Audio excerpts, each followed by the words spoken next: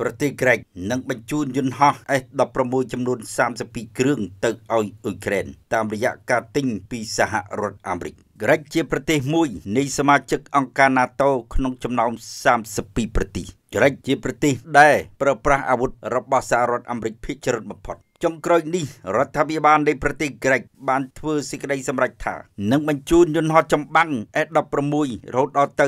32គ្រឿងទៅឲ្យអ៊ុយក្រែន ប៉ុន្តែបើយោងតាមសេចក្តីរាយការណ៍របស់សារព័ត៌មានអ៊ុយក្រែន Interfax ចុះផ្សាយថាក្រិចសម្រេចលក់យន្តហោះ S16 របស់ខ្លួនទៅឲ្យសហរដ្ឋអាមេរិកទើបសហរដ្ឋអាមេរិកធ្វើពិធីផ្ទេរយន្តហោះរបស់ក្រិចគឺ S16 ចំនួន32គ្រឿងនេះទៅឲ្យប្រទេសអ៊ុយក្រែន ជាមួយគ្នានេះក្រិចដែលសម្រេចលក់ F16 ទៅឲ្យសហរដ្ឋអាមេរិកហើយបញ្ជូនទៅឲ្យអ៊ុយក្រែននោះគឺក្រិចចង់ដោះដូរយន្តហោះ F16 របស់ខ្លួនជាមួយនឹងយន្តហោះចម្បាំងរបស់សហរដ្ឋអាមេរិកប្រភេទថ្មីគឺស៊េរីថ្មីដូចជា F35 ជាដើមជាមួយគ្នានេះគណៈកម្មការសភារបស់សហរដ្ឋអាមេរិកក៏បានអនុញ្ញាតឲ្យប្រទេសក្រិចទិញយន្តហោះរបស់សហរដ្ឋអាមេរិក F35 រហូតដល់ទៅ40គ្រឿង ចំពោះប្រទេសរិចនេះមានយន្តហោះ F16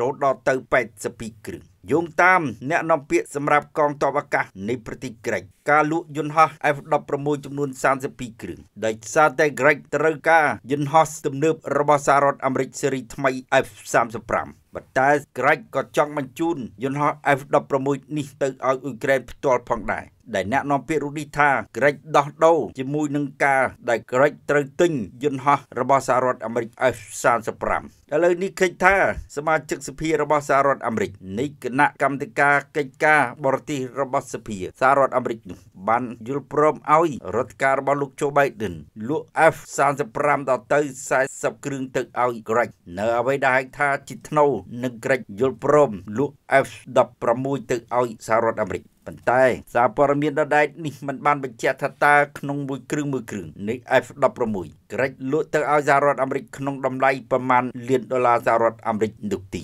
ហើយក៏មិនបានបញ្ជាក់ថា F35 ជាយន្តហោះទំនើបបំផុតរបស់អាមេរិកនេះក្នុងមួយគ្រឿងតម្លៃប្រមាណលានដុល្លារសហរដ្ឋអាមេរិកដែលអាមេរិកលក់ទៅឲ្យប្រទេសក្រិចផងដែរនេះ តែសូមជម្រាបថាបើប្រទេសក្រិចយល់ព្រមលក់យន្តហោះទៅឲ្យអាមេរិក F16 32គ្រឿងនោះហើយសហរដ្ឋអាមេរិកនឹងធ្វើការផ្ទេរវាទៅឲ្យអ៊ុយក្រែនមានន័យថាអ៊ុយក្រែននឹងទទួលបានយន្តហោះពីសមាជិកនៃអង្គការ NATO គឺរហូតដល់ទៅជាង100គ្រឿងប្រទេសដែលសន្យាផ្ដល់ F16 ទៅឲ្យអ៊ុយក្រែនគឺមានប្រទេសដាណឺម៉ាកហូឡង់បែលហ្សិកណ័រវេសឥឡូវនេះបន្ថែមក្រិចមួយទៀត ដាណាម៉ាកកំពុងតែរៀបចំបញ្ជូន F16 ទៅឲ្យអ៊ុយក្រែនហើយទាំងដាណាម៉ាកនិងហូឡង់ដែលបញ្ជូន F16 ទៅឲ្យអ៊ុយក្រែននោះគឺពួកគេមានយន្តហោះប្រភេទនេះរហូតដល់ទៅ61គ្រឿងប៉ុន្តែសម្រាប់ប្រធានាធិបតីអ៊ុយក្រែន Volodymyr Zelensky បានថ្លែងថ្មីថ្មីនេះថាការពិតអ៊ុយក្រែនត្រូវការយន្តហោះចម្បាំង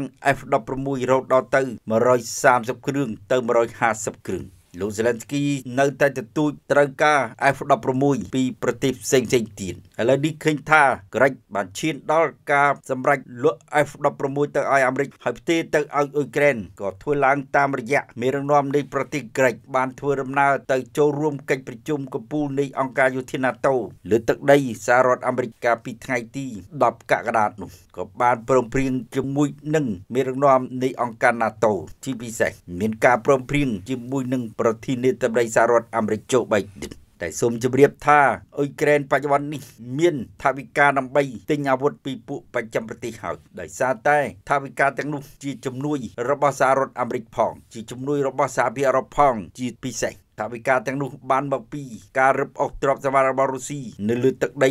នៃទ្វីបអឺរ៉ុបនិងប្រទេសផ្សេងៗទៀត ដែលថ្មីថ្មីនេះប្រទេសឧស្សាហកម្មជឿនលឿន G7 បានសម្រេចដកប្រាក់ដែលរឹបអូសបានពីទ្រព្យសម្បត្តិរបស់រុស្ស៊ីក្នុងទំហំ325លានដុល្លារសហរដ្ឋអាមេរិកនោះគឺឲ្យអ៊ុយក្រែនខ្ចី50ពាន់លានដុល្លារសហរដ្ឋអាមេរិកដែលធ្វើឲ្យអ៊ុយក្រែនមានលទ្ធភាពក្នុងការទិញអាវុធពីបណ្ដាប្រទេសផ្សេងៗទៀត ឥឡូវនេះអ៊ុយក្រែនកំពុងតែដាក់ពាក្យសុំទិញក្របកំភ្លើងធំ និងរកក្រោះពីប្រទេសផ្សេងៗទៀតដែលជាពិសេសគឺប្រទេសប៉ូឡូញជាប្រទេសធំជាងគេក្នុងការផលិតក្របកំភ្លើងធំដើម្បីលក់ទៅក្រៅប្រទេសប្រទេសដែលសម្រាប់ទិញក្របកំភ្លើងធំយ៉ាងច្រើនពីកូរ៉េខាងត្បូងនោះគឺប្រទេសរ៉ូម៉ានីនិងប្រទេសប៉ូឡូញប្រទេសពីរនេះស្ថិតតែមានព្រំដែនជាប់នឹងអ៊ុយក្រែន ប៉ុន្តែចុងក្រោយនេះសហរដ្ឋអាមេរិកចេញមុខគីក្នុងការទិញក្របកំភ្លើងធំរាប់សែនគ្រាប់ពីកូរ៉េខាងត្បូងទៅឲ្យអ៊ុយក្រែនកូរ៉េខាងត្បូងខ្លួនគេផ្ទាល់ក៏បានប្រកាសការបញ្ជូនអាវុធនិងក្របកំភ្លើងផ្ទាល់ទៅឲ្យអ៊ុយក្រែនផងដែរដោយមិនឆ្លងកាត់ប្រទេសទី3នោះទេ កូរ៉េខាងត្បូងបានប្រមានចុងក្រោយទៅទីក្រុងមូស្គូថាបើទីក្រុងភ្ជុងយ៉ាងនៅតែបន្តបញ្ជូនអាវុធបញ្ជូនក្របកំភ្លើងធំក្របមីស៊ីលទៅឲ្យទីក្រុងមូស្គូគឺទីក្រុងស៊ើអ៊ូលក៏អាចធ្វើបានផងដែរសម្រាប់អ៊ុយក្រែន ប៉ុន្តែរុស្ស៊ីប្រមានទីក្រុងស៊ើអ៊ូលយ៉ាងខ្លាំងថាអាចនឹងប្រឈមមុខនឹងការសងសឹករបស់រុស្ស៊ីនិយាយទៅ នៅពេលនេះវាជិតដល់ដំណាក់កាលនៃសង្គ្រាម លំហអាកាសយ៉ាងក្តៅគគុកហើយនៅពេលដែល F16 ជំនួយរបស់ពួក NATO ទៅឲ្យអ៊ុយក្រែនដែលគេរំពឹងថានឹងដល់ដៃកងទ័ពអ៊ុយក្រែននៅប្រមាណថ្ងៃខាងមុខទៀតនេះ ប្រទេសដាណឺម៉ាកត្រៀមមុនគេទាំងអស់ក្នុងការបញ្ជូន S16 ទៅឲ្យអ៊ុយក្រែនប៉ុន្តែរងចាំអ៊ុយក្រែនមានប្រព័ន្ធការពារដែនអាកាសរឹងមាំជាមុនសិនដោយសារតែថ្មីថ្មីនេះរុស្ស៊ីបានបាញ់គ្រាប់មីស៊ីបាឡេស្ទិកជាច្រើនគ្រាប់តម្រង់ទៅមូលដ្ឋានទ័ពអាកាសរបស់អ៊ុយក្រែននៅភាគខាងលិចបណ្ដាលឲ្យឆេះយន្តហោះចម្បាំងរបស់អ៊ុយក្រែនគឺមិច27ចំនួន2គ្រឿង អ៊ុយក្រែនបច្ចុប្បន្ននេះមានយន្តហោះចម្បាំងតែសម័យសហភាពសូវៀតតែប៉ុណ្ណោះជាពិសេសគឺក្រុមយន្តហោះចង្កោមដែលគេហៅថា MiG-27 MiG-29 MiG-31 យន្តហោះចម្បាំងសម័យសហភាពសូវៀតនេះងាយបំផុតក្នុងការបាញ់ទម្លាក់ដោយគ្រាប់មីស៊ីលរបស់រុស្ស៊ីបច្ចុប្បន្ននេះគឺ S-300 រុស្ស៊ីដោយមិនចាំបាច់ប្រើប្រាស់រហូតដល់ S400 ឬក៏ S500 បាញ់ទម្លាក់យន្តហោះចម្បាំងសម័យសហភាពសូវៀត MiG-27 នោះទេ អ៊ុយក្រែនពុំបានបញ្ជាក់ថាខ្លួនគី មានយន្តហោះប្រភេទមិចនោះចំនួនប្រមាណ100គ្រឿងនោះទីប៉ុន្តែ ប្រទេសជាអតីតសម្ព័ន្ធភាពរបស់សហភាពសូវៀតមានដូចជារូម៉ានីប៊ុលហ្គារីប៉ូឡូញសាធារណរដ្ឋឆេកសិតតែបានសម្រេចបញ្ជូនយន្តហោះសម័យសហភាពសូវៀតទៅឲ្យអ៊ុយក្រែន ជាថ្នូវដែលប្រទេសទាំងអស់នោះទទួលបានការទិញយន្តហោះចម្បាំងរបស់សហរដ្ឋអាមេរិកបើតាមក្រសួងការពារជាតិរុស្ស៊ីគឺយន្តហោះចម្បាំងរបស់អ៊ុយក្រែន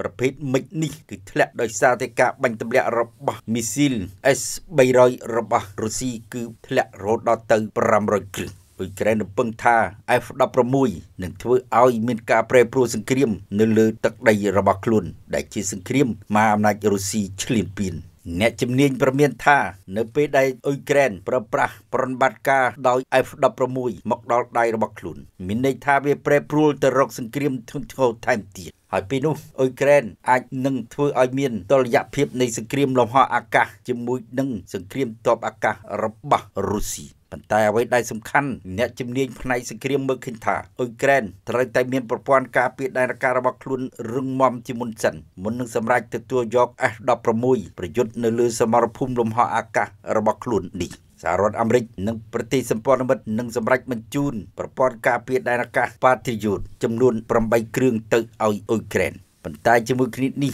បើយោងតាមសេចក្តីថ្លែងការណ៍របស់លោកโจ Biden ដែលថ្លែងចេញពីជំនួបកម្ពុជានៃមេដឹកនាំអង្គការយោធា NATO នៅទីក្រុង Washington កាលពីថ្មីថ្មីនេះលោកបានបញ្ជាក់ថាក្រុម NATO នឹងបញ្ជូនប្រព័ន្ធការពារដែនអាកាសសរុបដល់ទៅ